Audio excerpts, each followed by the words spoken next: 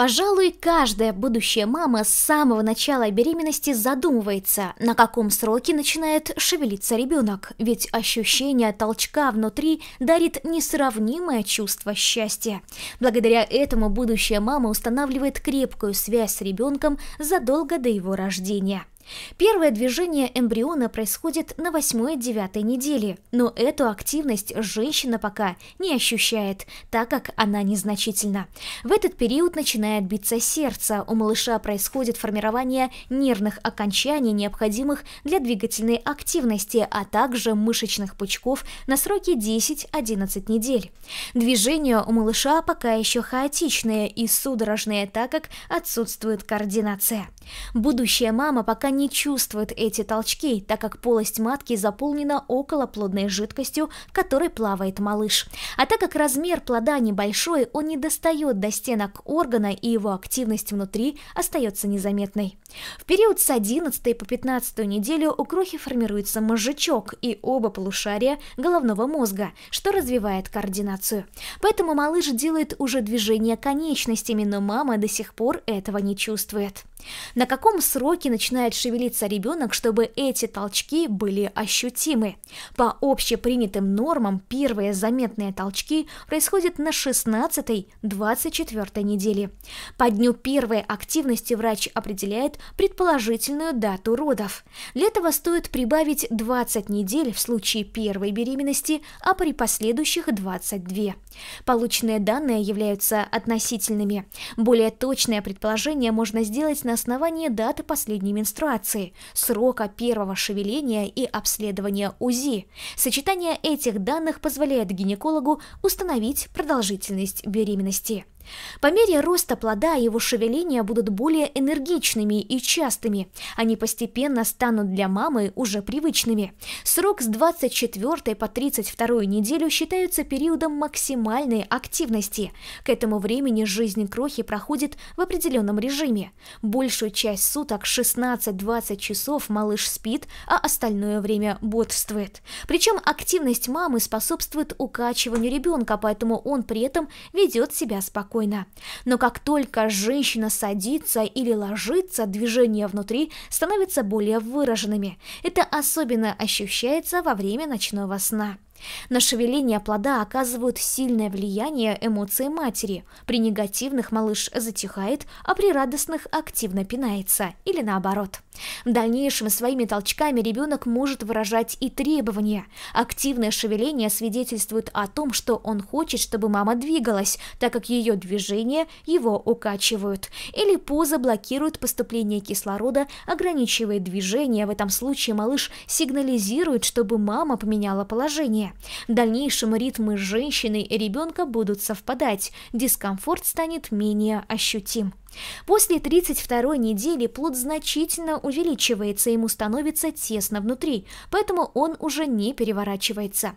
В этот период ощущаются только толчки. Меняется в это время и характер движений. Редкие толчки становятся более болезненными для мамы.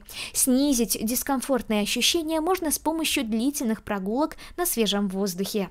Не стоит будущей маме в этот период спать на спине, так как в таком положении происходит передавливание вены, которая поставляет кислород малышу.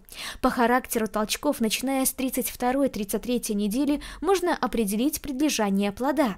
При ощущении ударов внизу живота тазовое, под грудью головное. Первое шевеление может ощущаться в разное время. Существенно влияет на это образ жизни будущей мамы. Если она проявляет активность и продолжает работать во время беременности, первые легкие толчки малыша могут остаться попросту незамеченными. Рассмотрим другие факторы, которые влияют на сроки. Это вес мамы. Если у женщины на животе присутствует прослойка жира, она может приглушать первоначальные толчки. Более более сильные движения будут ощущаться немного позже. Закрепление плаценты.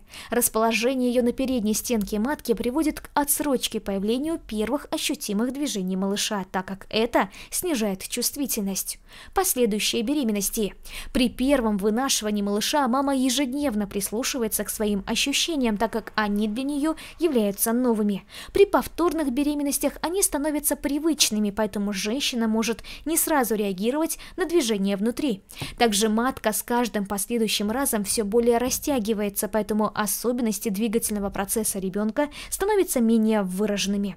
Ближе к предполагаемому сроку активность малыша уже становится явно ощутимой, поэтому переживать раньше времени не стоит. Срок появления первого шевеления индивидуален. Характер ощущений и причины повышенной активности. Причиной повышенной активности могут быть неудобная поза мамы или эмоциональное состояние мамы. Каждая женщина по-разному описывает первые движения крохи, которые она чувствует, но все они сходятся во мнении, что это ощущение безмерного счастья и радости. Вот распространенные ответы мам, которые описывают первое шевеление. Это порхание бабочки внутри, нежное поглаживание, поглаживание, легкое щекотание или толчки, касание перышка. Иногда женщина путает первое шевеление с перистальтикой кишечника, так как ощущает своеобразные перекатывающие движения. Но при внимательном изучении становится понятно, что это происходит намного выше предполагаемого органа. По мере роста плода меняется частота толчков, длительность периода бодрствования и отдыха, а также характер ощущения. Изначально места в матке достаточно, поэтому движение не так явно чувствуется, кроха редко дотрагивается до стенок органа.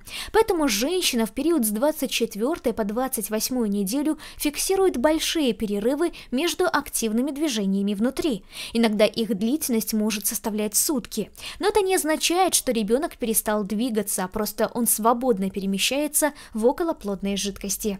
Начиная с 28 недели малыш двигается намного чаще, его толчки ощущаются до 10 раз на протяжении трех часов. Это является естественным и закономерным закономерным процессом. Чтобы отследить регулярность движений малыша, будущая мама должна на протяжении дня проводить подсчет шевелений и фиксировать длительность перерывов между ними. При этом нужно записывать время каждого десятого толчка. Если женщина считает, что период спокойствия затянулся, она должна поменять положение тела, покушать, так как питание активизирует малыша. Затем нужно зафиксировать частоту движений на протяжении двух часов. Если общее количество толчков от 5 до 10 раз, такая подвижность считается в пределах нормы. В случае отсутствия шевелений в течение этого времени женщина должна немного походить, а потом прилечь. Эти манипуляции помогут спровоцировать активность крохи. При отсутствии шевелений на протяжении трех часов и более нужно обратиться к специалисту, а также необходима консультация при снижении активности малыша. Одним из поводов для беспокойства является чрезмерная активность малыша, которая сопровождается бурными, хаотичными движениями, чего не было замечено раньше. Но при этом не стоит путать их с периодическими толчками, с помощью которых малыш делает знаки, чтобы мама поменяла положение. Причины повышенной активности могут быть различными. Выявить их помогает специальная диагностика. В случае обнаруженных отклонений врач назначает терапию. Опасным симптомом симптомом также является отсутствие активности на протяжении 10 часов. Этот признак свидетельствует о гипоксии, то есть малыш испытывает кислородное голодание. Патология бывает двух форм. Острая. Ситуация сложная, требует незамедлительной медицинской помощи.